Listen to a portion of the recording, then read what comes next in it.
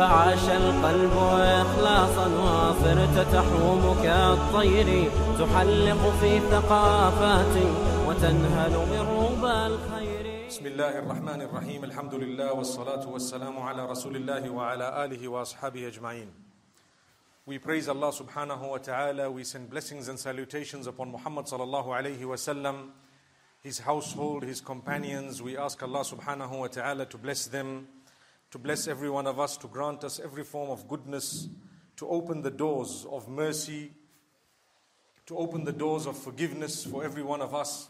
Ameen. My brothers and sisters, remember we are all created from the same source. Today we sit next to each other, we work with each other, we see people across the globe. We forget, we forget that we are actually from the same source. We are from the same family. Your father and my father at some stage was one man, one man. As time passed, we became many. And Allah subhanahu wa ta'ala says this in the Quran. يا أيها الناس إنا خلقناكم من ذكر وأنثى وجعلناكم شعوبا وقبائل لتعارفوا O people, I have created you from a single male and a female and I have made you into different tribes and people so that you can recognize one another, so that you can know one another. Now, your right to be on earth is exactly like mine. Your life is as sacred as mine. The life of the one whom you hate is as sacred as yours. You need to know that. His right to live on earth is exactly yours.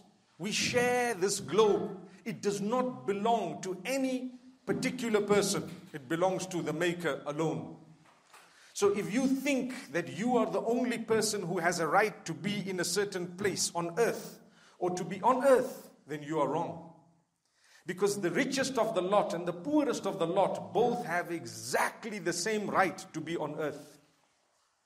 The lines that we find dividing us are political lines. What that means is the countries and their borders have been created later on. They are there for political reasons. And if you'd like to cross over, you have the right to cross over on condition that you meet a few basic requirements.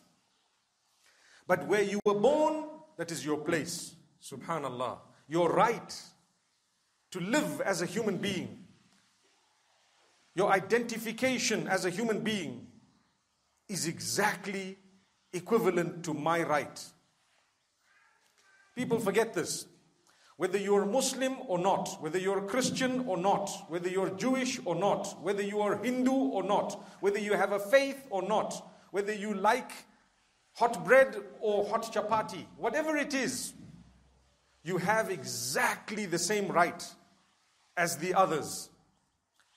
To be what you believe is correct. No one has the right to hit you, to harm you, to attack you based on the fact that you've chosen a religion or you like something different from them. But if you harm someone, they have the right to defend themselves. If you're threatening to attack someone, they have the right to plan their own defense. And they have the right, perhaps, depending on what authority they have, they have the right to deal with you in a manner that would solve the problem. If I have a problem with you, I need to know that I don't have the right to harm you, to hit you, to kill you, or your people. Nor do you have the right to do that to me. We all have to understand that we belong to the same maker. We come from the same family. In fact, I want to take it all the way to those who don't believe in a maker.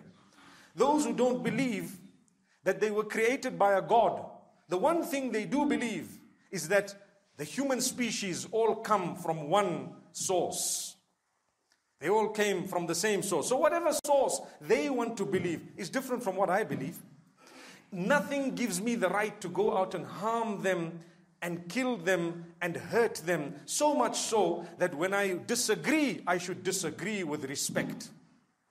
When I want to challenge their ideology, I need to challenge it with respect, not with hate. I don't need to call people dogs and cats. I don't need to insult people while I'm disagreeing with them. That's not what we're taught as human beings. You must be respectful. When Allah speaks about discussing the differences between us and the people of the book made up of the Jews and the Christians, He says, when you are discussing with them, make sure that you only engage the most beautiful and the best way.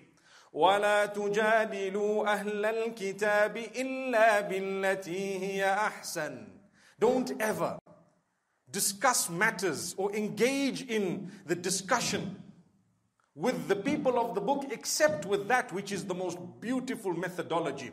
In another place, Allah says, Udu'u ila sabili rabbika bil hikmah. When you call towards your Lord, call with wisdom. If I stood in front of you and if we had a major problem of drugs, and we do, or alcohol, and we do, or gambling, and we do, and I were to swear in the masjid to say, those who are engaging in this, they are this and that, using the worst words, the most derogatory swear words, etc. Do you think you would be seated here? Would anyone want to sit and listen to someone who is spewing hate? No. But when someone lovingly corrects you to say, you know what? You're a respectable human being. You were created by Allah. You're a really good person. What you need to know is that what you're doing will not help you because of X, Y, Z. Now we're talking. The, the man or the woman may smile and they will probably learn. They will feel like changing because I have proven to them that what I am saying is more valid than what you are. But I want to tell you something. My brothers and sisters, sometimes when we are discussing with someone, we are wrong and they are right. And we are convinced that we are right and they are convinced that they are right. Now, what do we do? You leave it to Allah. You don't ever become so passionate about what you hold that it leads you to violence. It leads you to hitting someone, to attacking them. You don't ever become so passionate about what you're saying that it leads you to killing. You don't have to do that. If Allah wanted, He would not have created them in the first place. How? Why would Allah create people and tell you now you kill them? For what? He's the giver of life. Muhyi wa mumit. He's the one who gives life. And He also takes that life away. So, for us to be people who respect life is something absolutely important. Unfortunately, this morning we heard in the news that a barbaric attack took place in New Zealand. So barbaric that an immigrant decided that other immigrants were less entitled than him, forgetting that he himself was not from there. He's not originally from that place. He comes from somewhere else. But because his color was white, he decided, I'm going to kill these Muslims because they came later on. I'm more entitled to this place than them. Imagine if the if the Maoris or the original people of New Zealand decided that we're going to kill everybody who came here because they stole our land from us. People would say it's absurd. Well, it is equally absurd to say that because you came 20 years after the other, that's why you are more entitled than the other to be in that place. Remember this, all of us, we've come from somewhere. We don't know where our forefathers might have been. I know Adam alayhi salam was not in Zimbabwe. I know that. There wasn't a Zimbabwe at the time, but he wasn't on this part of the globe. But he was on the globe. That's what it is. So people cannot discriminate against someone else to say you're originally from Malawi or you're originally from India, so we hate you or you don't have a right to be here because you know what? If we were to search the lives of those who are claiming that, they too would probably not be from that place. I'm just giving you an example. The reason why I'm saying this is we definitely condemn the violence that happened this morning. Not violence, it was terrorism, an act of terror. The man walked in with a gun into the masjid while people had just completed their prayer, automatic gun, and started shooting everyone who was there. Everyone who was there this morning. Then he went into the other section, shot again. And this happened at two mosques at the same time. And what did he say? He said, I'm revenging, and I, these people who have come here are not supposed to have come. These immigrants are all extremist Muslims who have come, etc. That's not true, not at all. Because of people's comments over a long time in the media and elsewhere and on social media against Muslims, painting all Muslims with the same brush, yet it's a small number of Muslims who perpetrate crimes in the name of Islam that you and I know are not a part of Islam. Because we're all being painted with the same brush, it gives rise to people who feel that we should be killed because of the crimes of others.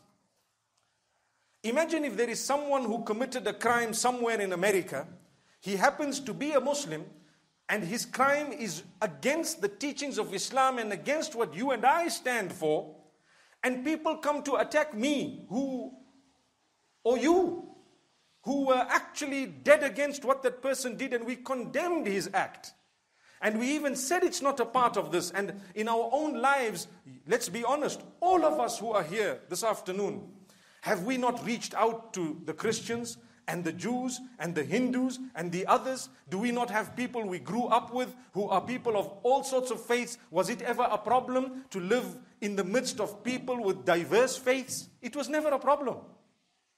To this day, we have people who work with us, who work for us, who are around us, who teach perhaps us or our children. We have people who live in our societies, beautiful people who happen to be of different faiths. Some of them don't have a faith. But what is the connection between us? They are still part of the human family. Remember that. Their father, my father, some time back was one person. Adam alayhi salam. So it is absurd for someone to think that, you know what? I should attack these people because of what happened overseas somewhere. That is wrong. The people are innocent.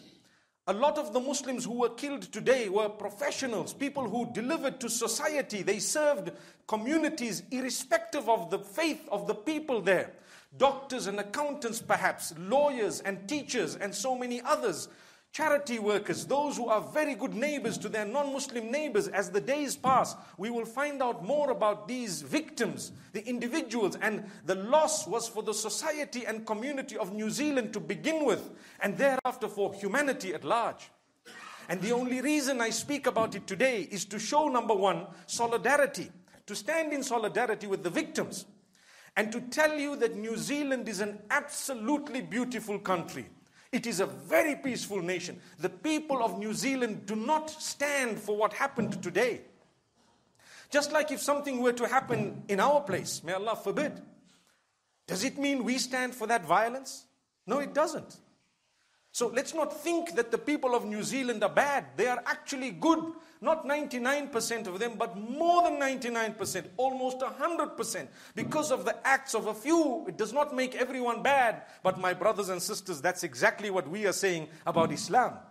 To say that you see these acts that are being perpetrated, they are using our name, they are saying we are Muslims across the globe, killing, fighting. Some Muslims believe that non Muslims don't have a right to exist. That is a deviant ideology. That is wrong. Some Muslims believe that you've got to kill the non Muslims. The number who believe that is very small.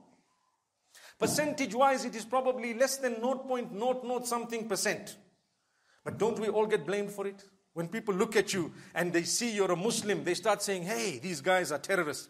I believe around us, our brothers and sisters of other faiths and their leaders need to talk about the good that Islam has. Sometimes intentionally, people have come to me and told me that in our churches we heard how horrible Muslims are. And I think to myself, in our mosques, we don't ever talk about how horrible others are because we speak the truth. We don't have anything wrong within us to say, you know what? Christianity also has a lot of goodness in it. We, we have the Ten Commandments that we share, but we differ in X, Y, and Z. And when we speak, we speak respectfully.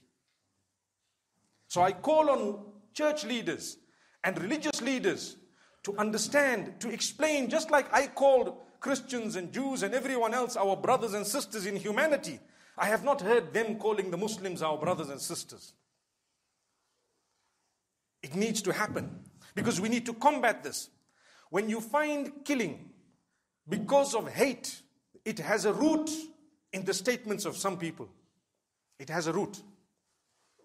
If I were to start with you today and every day I tell you how bad a certain group of people are, it will be such that within a few years you will want to eliminate those people because you now think that this person doesn't even have the right to exist. Sometimes you have a problem. And that problem goes down generations, and you don't realize, you know what? I've got a problem because of someone else's little issue, but they brainwashed me into believing that these people are really bad people. We need to be very careful how we think of others. Today, our biggest enemies are not the non Muslims. The biggest enemies are actually people who say the same Shahada as us. You and I don't deserve to live according to some people who claim to follow the Quran and the Sunnah. They say, This person doesn't belong to my ideology, my sect. We will eliminate him very, very soon. They start saying that you are perhaps an apostate, a murtad, they use that word. What does that mean? When they use that word, they are encouraging their followers to kill you. That's all. Because you and I know that deep down somewhere, one of the rules under certain conditions where they say a murtad should be killed, although it's not applicable here right now, they want it to apply without giving you any form of benefit of the doubt or without acknowledging the difference of opinion. If there is a grave and I refuse to worship it, they would call me a murtad and they would encourage people to kill me. It's happening. It's happening. We are victims of it. But you don't realize if someone has chosen not to do that, leave him. He's only going to live for 70 to 80 years. Then he's going to go back to Allah who's going to judge him. Why do you need to harm him? Why do you need to kill him? For what? If you want to discuss the matter and you really have confidence in your intellect and in your faith, you will keep on trying to explain to them, look, what you're doing is wrong because of X, Y, Z. Minimum, you will pray for them if you cannot talk to them.